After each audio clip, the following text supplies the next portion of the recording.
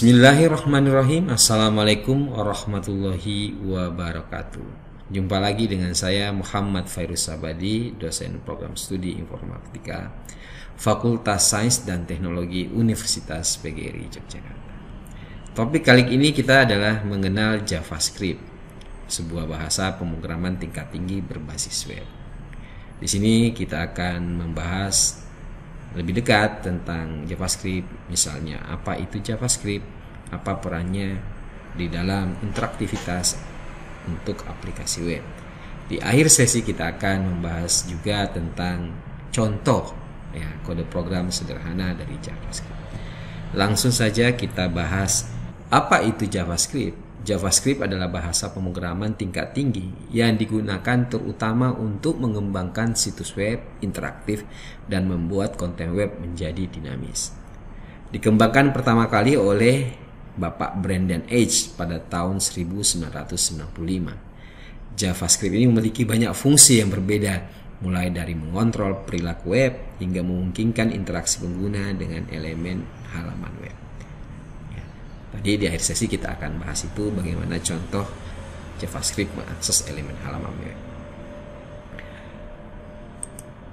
Perlu dipahami bahwa JavaScript ini adalah bahasa client side. Dari bahasa di dalam web itu ada dua jenis ya, ada client side, ada server side. bahasa client side ini adalah bahasa yang uh, diakses oleh komputer klien oleh browser ya. Sedangkan server side ini diakses oleh di server. Bahasa client side ini sering disebut sebagai bahasa front end sedangkan server side disebut sebagai back end ya. Tujuan dari client side biasanya adalah mengumpulkan input user ya. Lebih kepada uh, tampilan visual dan bagaimana pengguna dapat uh, mengakses ya input ya. Jadi lebih kepada akses input dan tampilan visual ya. Berbeda dengan server side, ini lebih kepada transaksi dan komputasi yang kompleks. Nah, ada beberapa kelemahan dari client side. Ini bisa saja menjadi uh, dihambat ya untuk berjalan ketika ada kaitannya dengan keamanan browser ya, jadi atau sandbox. Nah, ini sedangkan yang ini tidak akan uh, bermasalah karena bekerjanya di server. Jadi berbeda dengan bahasa pemrograman server side seperti PHP dan Python. Jadi JavaScript sekali lagi berjalan di sisi klien ya di dalam browser. Ya. Sedangkan yang server side tadi bekerjanya di server. Sehingga ini memungkinkan pengembang web untuk membuat halaman web yang lebih responsif, dinamis tanpa perlu memuat ulang halaman setiap kali ada interaksi. Dengan kata lain, penggunaan JavaScript akan lebih cepat dibandingkan kalau Anda menggunakan bahasa seperti PHP yang di mana prosesnya harus request ke service dan eh, server dan server harus memproses itu. Lalu apa peran JavaScript untuk interaktivitas? Yang pertama adalah uh, interaktivitas pengguna ya nanti semakin memudahkan interaktivitas ya. Responnya menjadi lebih cepat. Kemudian manipulasi DOM dokumen object model. Jadi JavaScript bisa mengakses berbagai elemen-elemen HTML untuk dapat dimanipulasi. Kemudian asynchronous request nanti bisa untuk uh, melot data ya tidak langsung ke server ya tapi bersifat lokal. Kemudian animasi dan efek visual. Jadi tampilan webnya akan lebih menarik. Kemudian validasi formulir. Akan kita bahas satu persatu peran JavaScript untuk interaktivitas ini. Yang pertama interaksi pengguna. Jadi JavaScript memungkinkan pengembang untuk menambahkan interaktivitas ke halaman web dengan menggunakan JavaScript, Anda dapat membuat elemen halaman web menjadi responsif terhadap tindakan pengguna, seperti klik tombol, mengisi formulir, atau menggerakkan mouse. Ini memungkinkan pengalaman pengguna yang lebih dinamis dan interaktif. Jadi tampilannya tidak membosankan. Pada gambar di samping Anda bisa lihat uh, pengguna ini contoh uh, aplikasi web di mana uh, pengguna dapat berinteraksi dengan baik dinamis begitu jadi tanpa harus melot data ke server ya. Jadi uh, dan langsung direspon dengan cepat oleh aplikasi tersebut. Misalnya mengganti warna ya. Menandai menggaris dan sebagainya bisa dilakukan menggunakan JavaScript. Kemudian manipulasi DOM dokumen object model JavaScript dapat digunakan untuk mengakses, mengubah dan memanipulasi elemen-elemen HTML dan CSS. Jadi HTML-nya juga bisa tag HTML maupun CSS yang mengatur tampilan dari sebuah web. Dengan demikian, pengembang dapat membuat perubahan langsung pada halaman tanpa harus memuat ulang halaman secara keseluruhan. Hal ini memungkinkan untuk menyesuaikan tampilan halaman web secara dinamis berdasarkan tindakan pengguna atau keadaan tertentu. Ini contoh sederhana dalam penggunaan DOM ya di mana ketika kita mengklik misalnya sebuah tombol maka misalnya ini H1 ini bisa dirubah tulisannya atau teksnya. Yang berikutnya adalah asynchronous request. JavaScript memungkinkan pengguna teknik seperti AJAX asynchronous JavaScript dan XML. Jadi bisa mengakses data-data XML yang mungkin disimpan di dalam bentuk uh, file text untuk melakukan permintaan data ke server secara asinkronus tanpa harus memuat ulang halaman. Jadi halamannya tidak di refresh gitu, jadi akan lebih cepat. Ini memungkinkan halaman web untuk tetap responsif ya. Jadi sambil memperbarui konten secara dinamis seperti ketika mengambil data tambahan dari server atau menyimpan data tanpa harus merefresh halaman. Nah ini contohnya sehingga ini prosesnya tanpa harus uh, apa namanya merefresh halaman bisa menambah data, ya menghapus, mengedit itu bisa dilakukan tanpa harus mereload ulang halamannya. Kemudian validasi formulir.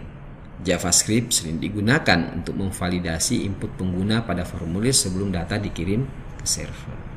Jadi untuk memastikan bahwa data-data ini betul-betul valid tidak mengandung kesalahan atau akurat ya sebelum dikirim ke server atau ke database server. Hal ini membantu dalam memberikan umpan balik cepat kepada pengguna dan menghindari peng pengiriman data yang tidak valid. Ya. Kemudian animasi dan efek visual. JavaScript dapat digunakan untuk membuat animasi, transisi, efek visual di halaman web. Anda juga bisa menggunakan library yang sebenarnya sudah cukup banyak ya seperti uh, framework ya jQuery, GSAP, GreenSock Animation Platform atau CSS Animation Transisi yang dikontrol oleh JavaScript.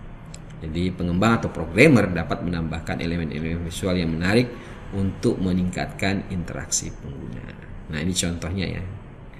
Contoh penggunaan JavaScript menggunakan query-query jQuery yang merupakan library yang sudah tersedia. Jadi jangan khawatir ya. Jadi banyak uh, library yang sudah framework yang sudah ada beredar dan tinggal kita gunakan. Oke, selanjutnya kita akan mempraktekkan penggunaan JavaScript secara sederhana. Di sini kita akan menggunakan uh, dokumen object model Nah, sebagai contoh nanti akan kita buat aplikasi yang nantinya ketika kita mengklik tombol akan mengubah sebuah teks. Langsung saja kita buka Visual Studio Code.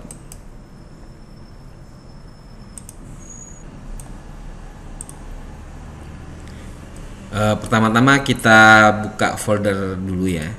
Kita buat folder, kita namakan misalnya J eh, JavaScript gitu ya JavaScript.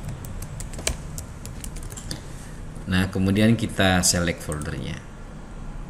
Kita buat latihan pertama ya. Atau contoh pertama saya buat aja file baru. Contoh satu HTML oke kita buat uh, struktur HTML dulu.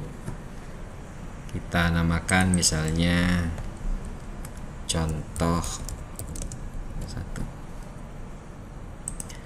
Supaya mudah saya eh, akan tampilkan tampilannya di sebelah kiri di sebelah kanan editor ya. Sini saya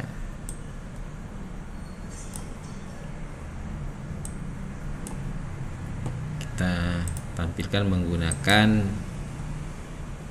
uh, apa namanya live server. Saya letakkan di sebelah uh, kanan ya supaya kita bisa melihat secara live tampilan ketika uh, eh, HTML-nya atau JavaScript-nya diubah. Oke, yang pertama saya membuat H1 ya. Misalnya tulisan ini akan berubah. Oke, kemudian saya membuat tombol misalnya button. Tulisannya ubah. Nah, terus ini tadi H1 tulisannya ubah. Nah, kita dapat menggunakan kejadian on click pada sebuah objek ya. Objek misalnya untuk button ini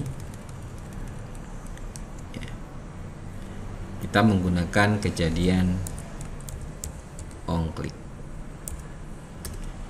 Nah, di sini untuk mengakses coding bisa juga langsung kita ketik ya JavaScript di kejadian itu ya. Tapi kalau untuk beberapa baris sebaiknya Anda membuatnya sebagai fungsi. Nah, di sini saya karena codingnya tidak terlalu banyak coding JavaScriptnya kita langsung ketik di di on clicknya ya. Oh iya, untuk bisa mengakses kita harus memberi ID dari uh, objek itu. Jadi untuk H1 ini saya akan uh, beri ID, penamanya bebas saja. Misalnya kita namakan uh, demo gitu ya. Nah untuk mengakses itu menggunakan uh, dokumen ya dokumen dom tadi dokumen kita tulis saja dokumen kemudian titik get element by ID ya. Kemudian nah di sini nama ID-nya adalah uh, demo ya. Demo berarti kita menggunakan ini harus menggunakan yang sama supaya uh, bisa berubah ya. Kemudian kita akses uh, isinya ya menggunakan argumen inner HTML. Ya.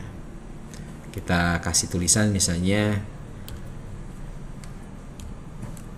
pakai tanda petik satu ya karena di luar ini sudah petik dua. Jadi kalau di sini anda petik satu dalam bisa menggunakan petik dua. Tulisannya misalnya teks ini sudah berubah jadi kalau kita mengklik button ini nanti tulisan di H1 yang yang ID demonya ini adalah tulisan ini akan berubah ketika Anda mengklik button akan muncul tulisan teks ini sudah berubah kita coba Anda lihat tadi kalau saya klik teks ini sudah berubah. Ya. Ini contoh sederhana. Kemudian misalkan eh, kalau ada beberapa baris, ya, ada beberapa baris, maka sebaiknya memang kita menggunakan eh, fungsi. Ya, di sini saya akan membuat contoh yang kedua ya. Misalkan kita buat yang contoh yang kedua contoh dua titik HTML saya copy aja. Saya nyatakan dalam sebuah fungsi ya di sini ketika kita mengklik akan memanggil sebuah fungsi. Misalkan ini saya hapus dulu. Ya saya cut dulu nama fungsinya adalah misalkan ubah nah untuk fungsi penulisannya sebaiknya huruf kecil ya standarnya ya. Kemudian nanti untuk codingnya itu bisa di mana aja ya sebenarnya bisa di hit maupun di dalam body ya. Di sini saya mencontohkan di dalam hit ya. Kita menulis misalnya uh, script. Ya jadi kalau untuk JavaScript harus diawali dengan kata script. Ya. kemudian kita buat functionnya. Tadi nama functionnya adalah ubah jadi ketika mengklik dia akan mengerjakan fungsi ubah jadi kita buat fungsinya dengan kata uh, function ya. Ubah nah tinggal yang tadi dokumen sama ya. Jadi sama saja. Ini contoh yang menggunakan fungsi. Ini kalau kita jalankan ini sama saja dengan yang tadi. Ya. tapi di sini saya menggunakan fungsi yang terpisah. Kalau tadi langsung yang ini terpisah. Ini sangat baik kalau misalkan untuk beberapa tulisan ya beberapa baris ya.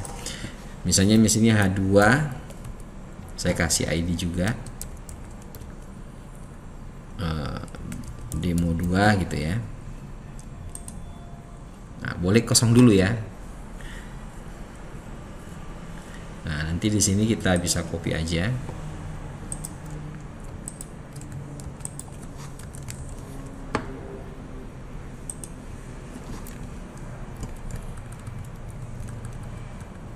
misalnya ini tulisan baru Nah, kita coba. Oke, langsung kita coba ya. Untuk yang kedua, open with live server. Nah, di sini ketika kita mengklik ini ada dua hal yang dikerjakan, mengubah demo dan menampilkan tulisan baru di H2 ya. Sebenarnya sudah ada tapi nggak kelihatan ya, jadi kosong. Nah, ini tulisan baru. Jadi ketika kita klik uh, dua hal yang dikerjakan contoh juga ya kita juga dapat uh, mengakses inputan ya inputan lain. Misalnya kita membuat uh, uh, tampil tulisan di inputan ya kita buat uh, yang baru saja.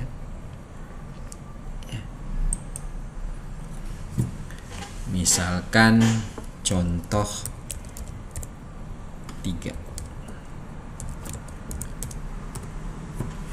kita buat dulu ya tampilannya. Saya ulangi. Uh, di sini misalnya menghitung luas persegi panjang ya. Luas persegi. Kita tampilkan di live ya contoh 3 open with live server. Ya kita buat uh, labelnya misalnya label tidak usah pakai for. Masukkan panjang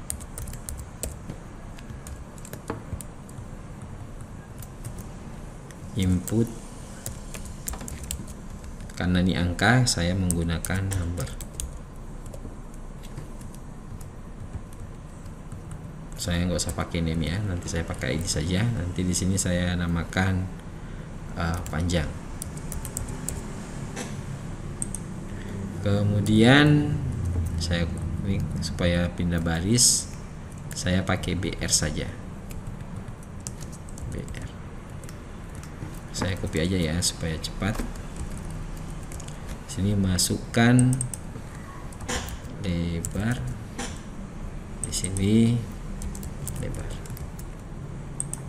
Ya. kemudian saya BR lagi ya biar ada jarak. Ada tombol button. Button. Misalnya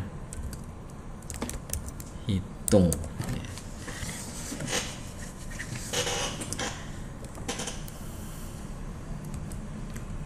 Nah kemudian dibawanya luasnya ya. Di BR dulu supaya pindah baris. Uh, dua kali aja biar ada agak jarak. BR nah misalkan luasnya ya. Saya menggunakan label juga.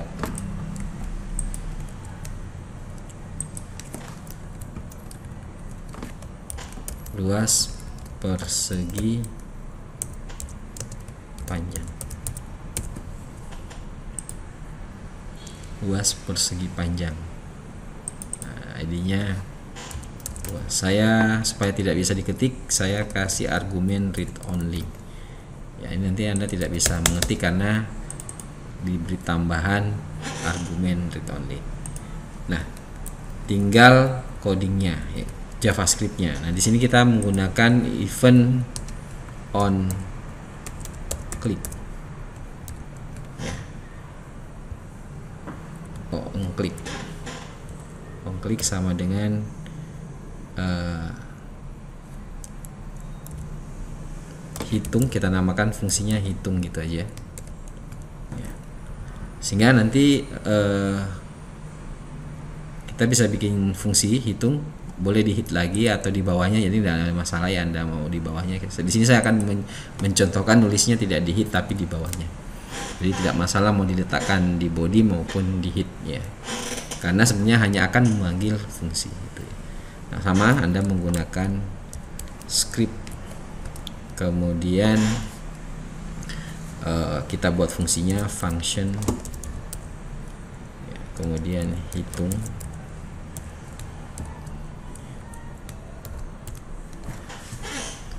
Nah, untuk uh, menghitung ini nanti kita mengambil nilainya dulu ya. Kita buat sebuah variabel bisa menggunakan kata const.